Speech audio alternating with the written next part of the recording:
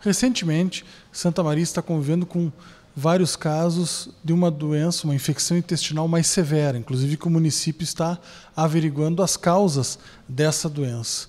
Inclusive, duas crianças de 4 e 5 anos, infelizmente, vieram a óbito devido a essa doença com os mesmos sintomas. Uma mulher adulta também está internada né, com esses sintomas né, no Hospital de Caridade. Devido a essa situação, vamos conversar nesse momento com o secretário municipal de saúde, Francisco Harrison, para nos trazer mais esclarecimentos sobre esse tema. Secretário, muito obrigado por estar aqui conosco. É, debate pronto, assim, podemos afirmar que isso é um surto, ainda é muito cedo para dizer que isso é um surto? Tecnicamente é um surto, porque a gente diz que há um comporta houve um comportamento anormal de uma doença que é comum nessa época do ano, as infecções, as gastroenterites, as infecções intestinais, elas são mais comuns, são comuns no Brasil inteiro, mas a gravidade desses casos e eles estarem restritos a uma localidade, sim, nós temos tecnicamente chamamos de um surto. E, e, isso é importante a gente frisar, porque se você for ver em todos os hospitais do Brasil, hoje, é, os casos de, de gastroenterite ou de diarreia, eles aumentam bastante.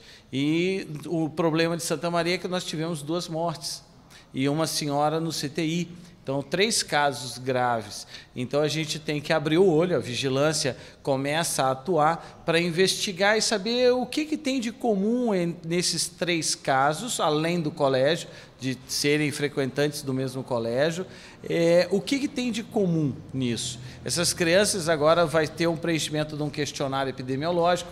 Hoje teve a visita ao colégio né? Foi feita a vistoria, colhido água para análise, foi conheceram, conheceram os ambientes, os técnicos conheceram os ambientes do colégio, onde elas brincam, onde elas comem, onde elas dormem, se dormem lá. E agora vão preencher o questionário epidemiológico os pais das crianças, para a gente saber se tem mais algum ponto. Onde eles moram, onde convivem. Às vezes mora no, no Camobi, mas a criança passa o restante do dia na casa dos avós, em tal lugar. Vê se tem mais algum ponto de coincidência para a gente procurar onde pode ter sido a contaminação dessas crianças. Secretário, quantos casos né, já estão confirmados e quantos estão assim sob análise, suspeita?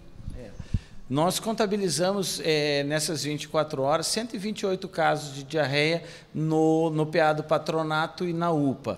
Esses casos, nenhum desses casos foi diarreia grave, é, esses casos são é, atendidos de uma forma mais criteriosa, com mais atenção pelos profissionais, é, estão sendo colhidos exames de, da, de, dos pacientes, das fezes, exame de sangue, para a gente poder traçar um comparativo e procurar identificar o patógeno, qual bactérias, ah, provavelmente seja uma bactéria pela agressividade desses casos que nós tivemos da, das duas crianças faleceram e da mãe no, no CTI.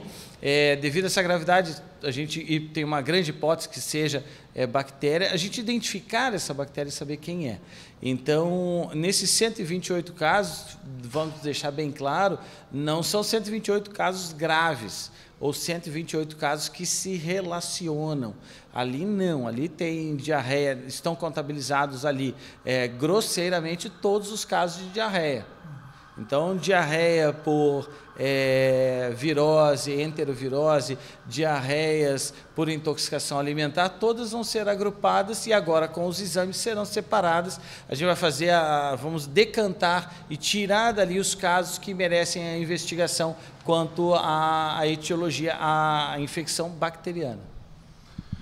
Secretário, quais os principais sintomas, né, que no início até dessa entrevista eu, eu mencionei uma infecção intestinal mais severa. Não sei se ela pode ser tratada dessa forma e quais são os principais sintomas que a população deve ficar alerta né, com esses sintomas. É. A gente pede que todo paciente que tiver dor abdominal, é, tiver diarreia, as fezes líquidas, o aumento de evacuações, é, na literatura médica diz que é a urgência em evacuar. É aquele paciente que não se sente seguro para sair de perto do banheiro. Ele tem uma urgência em evacuar. Fezes líquidas e dor abdominal, ele deve procurar o atendimento médico privado ou do SUS, porque a rede privada e a rede do SUS todos os profissionais estão já orientados de como proceder com esses pacientes. E a rede pública está preparada para receber essa demanda, receber esses pacientes. Sim, sim, ela está preparada. Todos os plantões já estão, todos os médicos já foram avisados. Estamos, estamos divulgando protocolos. Os infectologistas da cidade estão nos ajudando, ajudando a vigilância sanitária, a Secretaria de Saúde, para a emissão de pareceres e de, de notas de conduta dos profissionais médicos, para que a gente não perca mais nenhuma vida. Esse é o principal objetivo, é esse. É a gente, claro, descobrir o agente, trabalhar preventivamente, resolver o problema, se, se assim a gente encontrar onde foi a contaminação. Mas o, o, principal é a vida humana. É a gente agora não perder nenhum paciente. Não pode morrer mais ninguém dessa diarreia. Esse é o nosso principal objetivo. Secretário, quando o município, por exemplo, né, o senhor falou que a principal motivo agora, o município está debruçado em estancar os óbitos por conta dessa diarreia mais severa. Mas quando o município vai ter, por exemplo, assim, batido o martelo do que está ocasionando eh, essa doença? Existe uma previsão? Não, a gente não tem essa, essa previsão porque a gente depende até de achar esse, esse patógeno, achar a bactéria e a gente confirmar se essa bactéria, ela, ela vou, vou te dizer assim, é, a, a Escherichia coli, por exemplo, ou Escherichia coli, ela é uma bactéria comum no, no nosso intestino, tá?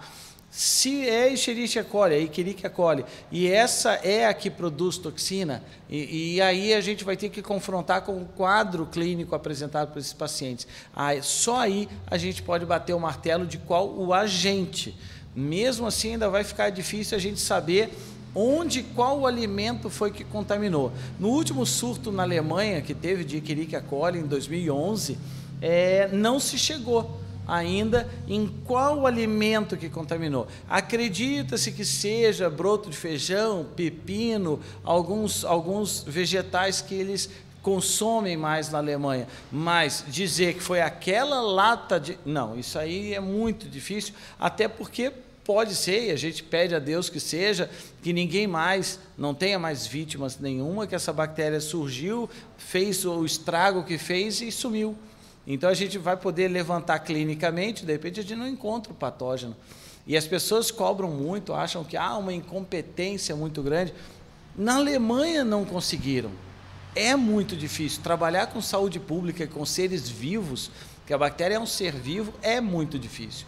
A gente tem que ter uma ação rápida, isso nós tivemos. A vigilância sanitária começou a trabalhar nisso na segunda-feira. As vítimas foram sábado, domingo, segunda e terça. Na segunda a gente já estava trabalhando com isso. E mas é muito difícil realmente você determinar a hora, o local e a razão, como dizia na música, como a gente, como foi a contaminação. A gente pode até determinar o agente, mas como foi é uma tarefa mais difícil. Esperamos conseguir ainda.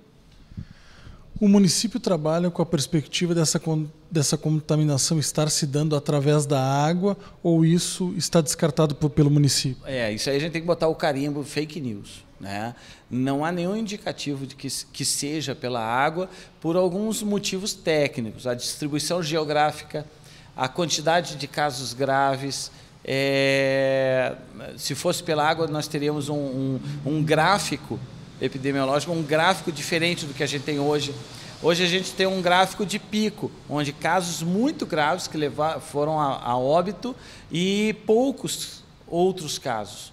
Então é um pico. Na, fazendo uma comparação com a época da toxoplasmose, que a gente é, teve toda uma recomendação da água, mesmo não achando é, é, o agente na água, mesmo não sabendo, não tendo a convicção de que seja da água, mas a distribuição geográfica era muito grande, foram mil casos em um mês, foram assim é, é, é, totalmente diferente esse surto. Esse surto ele se refere a uma localidade. Então a gente vai trabalhar ali nessa localidade. Em outros países, enquanto que na Toxo, em outros países, a contaminação foi pela água, aqui é, nessa, nesse caso da gastroenterite, a contaminação em outros países é, foi comprovado que era por alimentos. Então a gente não pode fugir de, de dados científicos. As pessoas partem para um achismo muito grande. Não, isso aí é da água, sim. Olha, não tem nada científico que comprove ou que nos leve a pensar. Como foi no caso da toxoplasmose, que a gente não teve comprovação, mas nós temos, por estudo científico de outros casos, foi pela água. Então a gente trabalhou com essa possibilidade no que diz respeito à, à prevenção. No que diz respeito à prevenção das gastroenterites, a maioria é por alimentos. Então a gente vai trabalhar com essa hipótese, a não ser que surja alguma coisa indicando que seja da água, mas até agora não há nenhuma suspeição para esse lado. Além da vistoria que a vigilância sanitária fez na escola, né, onde teve eh, casos né, de crianças que vieram a óbito, estudavam nessa escola, a vigilância está organizada, está se preparando para fazer um trabalho mais específico de vigilância por conta dessa doença em outras instituições? Assim, ó, é, é bom ressaltar que todos os colégios passam pela inspeção sanitária, é, tem que apresentar laudo de limpeza de caixa d'água, passam por inspeções quanto a armazenamento, acondicionamento e preparo de alimentos. Tudo isso já é feito. O que nos assusta é que tudo foi feito e apareceram esses casos graves, né? Então, não significa que a gente tenha que refazer todo o trabalho. O trabalho agora tem que ser feito em cima deste colégio, dessas famílias, para que a gente possa saber onde foi. Não quer dizer que elas tenham sido contaminadas a partir de alguma coisa do colégio. Pode ser uma criança que foi à aula e estava contaminante, mesmo estando assintomática, ela pode estar passando a bactéria e aí contaminou outras crianças. Não significa que foi num alimento do colégio, entendeu? Então, assim, é, é, é, epidemiologicamente, a gente vai partir daquelas crianças, né, é, para a gente poder definir onde, onde essas crianças faleceram, onde, em que momento elas foram contaminadas ou qual bactéria que causou isso. E a gente está fechando também um outro lado, que são os pacientes do pronto-socorro, que apresentam diarreia, e a gente vai colher, porque se a gente colher daqui a pouco essa mesma bactéria que vitimou as crianças, colher em outras pessoas, aí a gente muda o nosso plano todo de trabalho. Mas, por enquanto, a gente não tem nenhum outro paciente grave em nenhum outro ponto da cidade.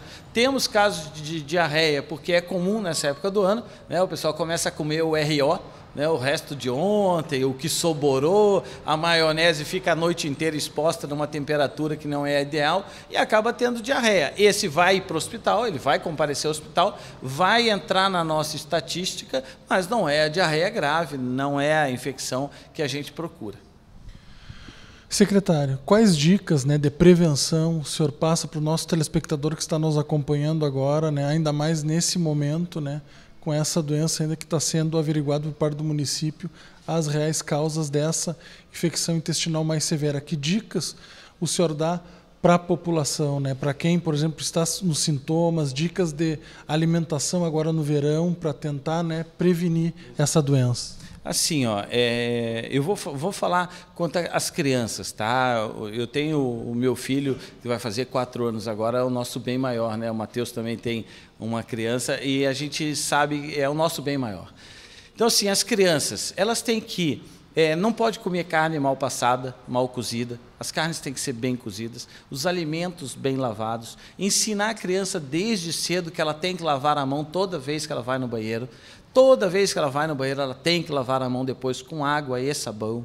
É, evitar colocar as coisas na boca, isso até uma certa idade é impossível, mas é então você procurar manter a limpeza dos, dos brinquedos da, da, criança, limpar a companhia com álcool de vez em quando, não precisa ser é, neurótico e limpar todo momento.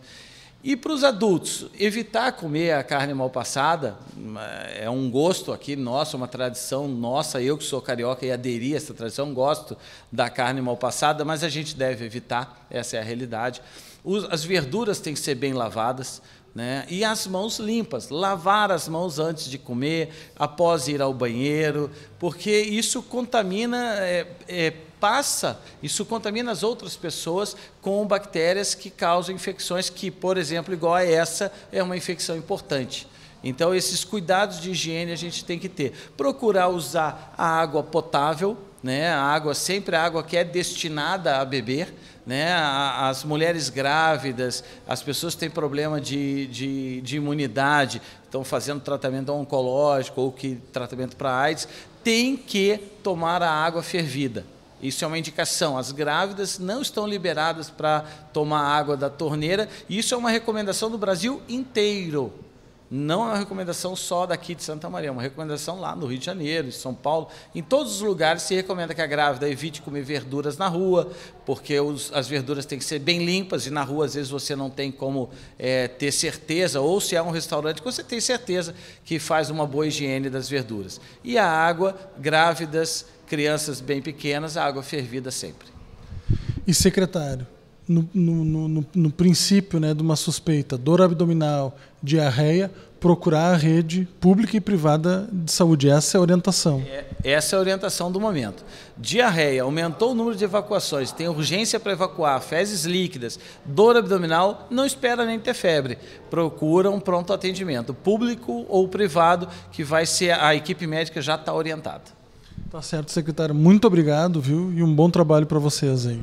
Eu que agradeço a oportunidade de esclarecer a população essa, essa crise que a gente está passando e que nós estamos trabalhando para que isso não, não se expanda, para que a gente não tenha mais danos. Tá certo. Conversamos com o secretário municipal de saúde, Francisco Reres, que trouxe informações e esclarecimentos sobre esse surto aí de infecção intestinal, né, que tem já vitimou duas crianças e tem também né, levado várias pessoas a procurar a rede pública e privada de saúde. Siga acompanhando essa entrevista e a nossa programação nas nossas redes sociais, no canal 18.2 e no canal 16 da NET, e siga acompanhando a nossa programação. TV Câmara, a tela da cidadania.